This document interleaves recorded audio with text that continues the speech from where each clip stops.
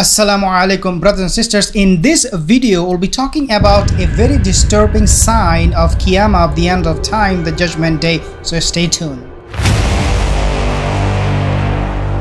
You have seen this footage before. It is from Netflix. They created a show, lower your gaze, sorry for the uh, scene, and they called this the Messiah, means the Dajjal.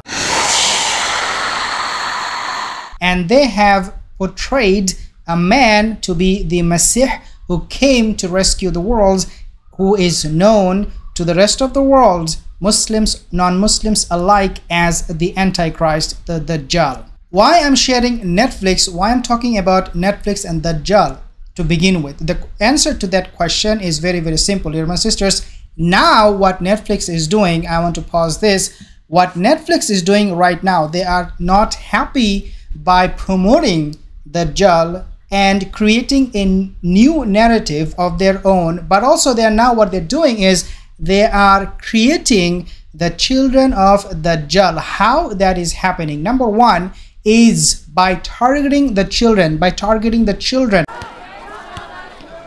What happened? The Netflix is now producing shows like Jurassic World Disney cartoons and also shows like Cuties and they are showing it to the kids the children to promote the idea of filthiness evil and to indoctrinate their mind with these poisonous movies and shows. Number two how they're doing it? They are doing it very subtly.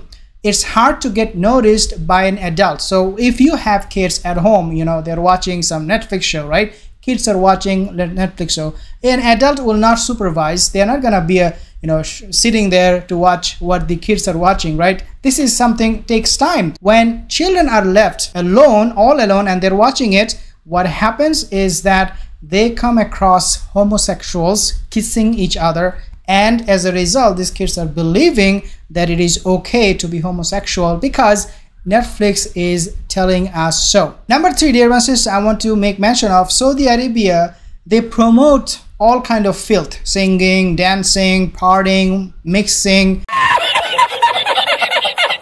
at the same time you know what saudi arabia is doing right now they are restricting netflix they're telling netflix you guys cannot bring all these tv programs or these shows to our country that goes against islamic principles and values. How ironic it is when something is benefiting them financially like bringing celebrities from outside new celebrities. Saudi arabia seems to have no problem. But the moment they're really not getting that revenue from streaming giant like netflix they have big problem this time what happened is Saudi Arabia is telling Netflix once these shows were published, for example Jurassic World, Saudi Arabia went to Netflix and said, hey stop, you can't do this because it has homosexual sin. So why you ask to stop a munkar when you are at the same time promoting another form of munkar. This is absolutely hypocritical. Number four point, dear sisters, Netflix is trying to challenge the Islamic narrative of everything, starting from the Dajjal, starting from morality and everything.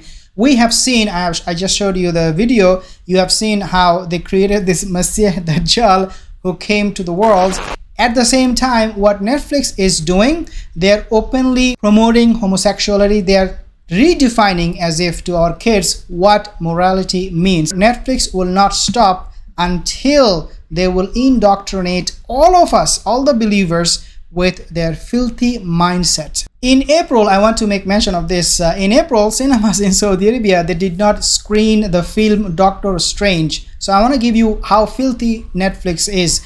Doctor Strange it is a, is a show I believe in the multiverse of madness and they have scenes of LGBTQ. Saudi Arabia said you cannot show this uh, show in our country. So what Netflix did, they said, okay, we are not gonna listen to your request. Instead of saying, okay, I we apologize, they said Netflix said to Saudi government no no no we are not gonna do anything about this scene where you have seen a you know um, a woman kissing a woman if you want us to leave and not screen this show in your country we'll do that but we will not cut out the portion where you see this kiss After the animated film Lightyear, which featured a same-sex kiss, so this is another animated feature, was reportedly banned in the kingdom and the United Arab Emirates in June.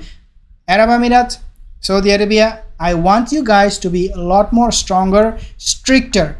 Don't bow down to Netflix at all. Now, this is not only the case looks like with Netflix only, this is also case with YouTube. What YouTube is doing, they're promoting quote unquote inappropriate adverts that violates Saudi Arabia and Islamic values. And so now Saudi government is saying, oh, again, YouTube, what you guys are doing, you're putting ads that are very, very anti-Islamic, you need to stop it. Dear my sister, my last point is that unfortunately, fortunately, whichever you look at it, our own shuyukh today, Yasir Qadhi, Omar Sulaiman, a lot of these celebrity shuyukh, they are promoting same-sex marriages. They are coming out with Ilhan Omar and all of them ganging up, teaming up together, promoting that, well, we need to protect these people's rights.